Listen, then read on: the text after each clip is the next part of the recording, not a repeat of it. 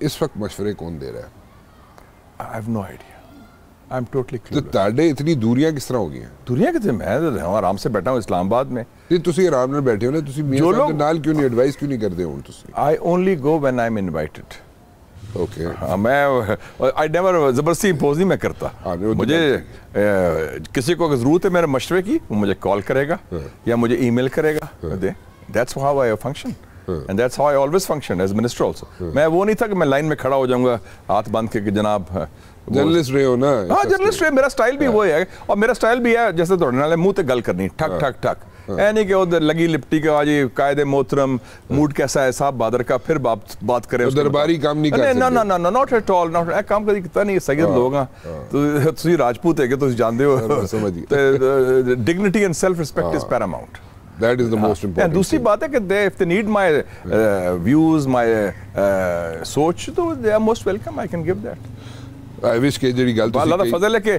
पूरी दुनिया ते मैं जाना सेमिनार एड्रेस करना।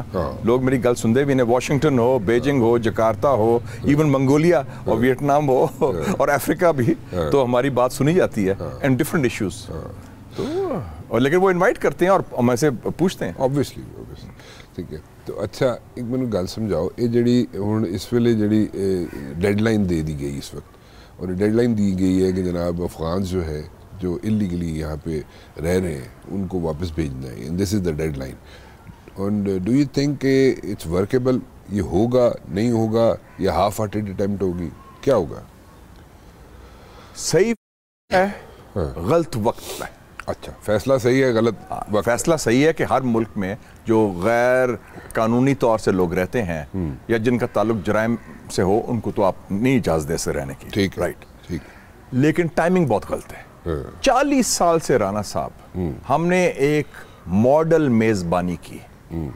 सबसे तवील अरसे के लिए सबसे बड़ी तादाद के पना गजीर पाकिस्तान में रहे खुश उसलूबी के साथ। और आज हम 40 साल के बाद हम कह रहे हैं चार हफ़्ते में चुटकी मारी आपने। कि निकलो। गेट लॉस्ट गेट आउट ये कैसे पॉसिबल है? अफ़गानिस्तान से आपके ताल्लुक खराब हैं।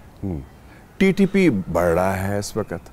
मुल्क के अंदर जरा वो खलफशार है सियासी किस्म का। और हमारा सिस्टम जो है आपको पता है सिस्टम के अंदर कितनी नलायकी है। इट इज़ नॉट ऑर्गेनाइज फिर क्या होगा? गड़बड़ होगी। आप कोई नई मुक्ति बाहिनी ना क्रिएट करें इधर।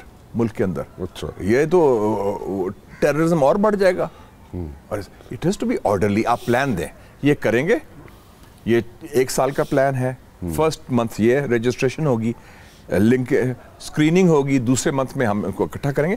और दूसरी एक और चीज़ है। Under international law United Nations भी देखें। Return of refugees has voluntary अगर वो हजारा वाले कहते हैं कि हमें तो मार देंगे अगर हम जाएँ उधर।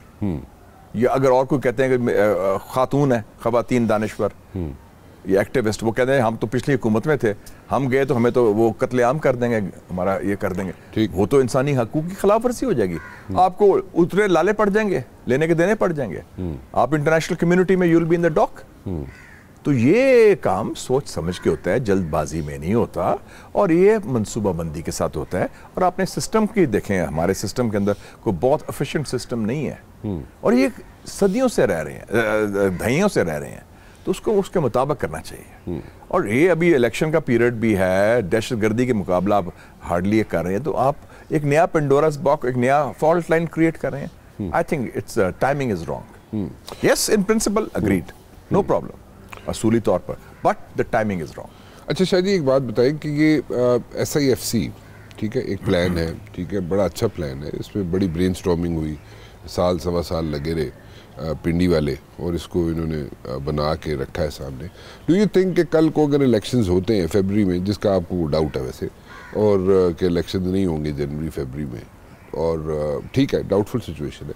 लेकिन अगर सपोजिटली हो भी जाते हैं इलेक्शन छः महीने बाद हो जाते हैं, साल बाद हो जाते हैं do you think S I F C का उसका साथ कोई ताल्लुक नहीं है? जो मर्ज़ी गवर्नमेंट आए, जो मर्ज़ी गवर्नमेंट जाए, लेकिन वो एक सिस्टम है ट्वेंटी थर्टी फाइव तक चलता रहेगा। लेकिन डू यू थिंक कि वो वाकई उसमें जो भी पॉलिटिकल पार्टी आती है, या जो भी हुकूमत आती है, वो उसके अंदर अपनी रुकावटें नहीं डालेगी, ऐसा कोई मसला क्रिएट नहीं करेगी उसमें? देखिए जी S I F C special investment facilitation council G H Q की पैदावार नहीं है। ये पैदावार है पीडीएम हुकूमत की, जिसके वज़ीर आज़म शहबाज शरीफ साहब थे, जिन्होंने काबीना से इसकी मंजूरी ली, जिन्होंने खुद अनाउंसमेंट की। हाँ उन्होंने ये ज़रूर कहा कि ये आइडिया उनका था जनरल आसिम मुनीर का। तो ये it is a product of a political government जिसमें सारी पार्टी शामिल थी सवाए पीटीआई के। और पीटीआई तो पहले कह चुकी है कि वो उन्होंने तो सारी सियासत अपनी आउटसोर्स कर दी थी आईएसआई और फौज को। वो खुद नहीं कहा वन पेज वो तो खुद वन पेज के तो वो खालिक हैं। पिछली उस पीटीआई हुकूमत तो इसमें कोई नहीं। मेरा तो व्यू है वो देंग शॉपिंग था चाइना का बड़ा अजीम लीडर जिसने चाइना की तरक्की की बुनियाद रखी। वो कहता था it does not matter whether a cat is black और white so long it catches mice results होने चाहिए। हमारे दरवाजे वो हाइब्रिड आ गया। कोविड में क्या हुआ?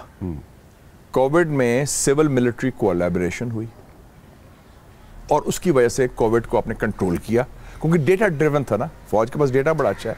तो ये फौज भी तो पाकिस्तानी फौज है ना यार। ये कोई इसराइली फौज तो नहीं ना। पाकिस्तान फौज है।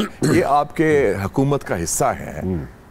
वो उस it's a subordinate organisation of the government of Pakistan अगर उसकी आप यूटिलाइज करके कुछ अच्छा काम हो सकता है मुल्क के लिए अवाम के लिए why not I don't have a problem with that लेकिन स्ट्रेटेजिक क्लैरिटी होनी चाहिए करना क्या है? ठक ठक ठक। काश यही strategic clarity last few years में होती सी पैक पर तो ये रुकावटें ना आती। One step forward two steps back कभी सी पैक स्लो डाउन हो रहा है कभी रुक रहा है कभी कुछ और हो गया। तो ये मेरे ख्याल में ज़रूरी। और वैसे भी द फैक्ट इज़ कि काफ़ी ममालिक ऐसे हैं जिनमें हमारे अरब भाई भी, मुसलमान भाई शामिल हैं, जिनको पाकिस्तान के अंदर ज़्यादा अतमाद खाकी वालों पर है, यानी या मुफ्ती वालों पर नहीं है।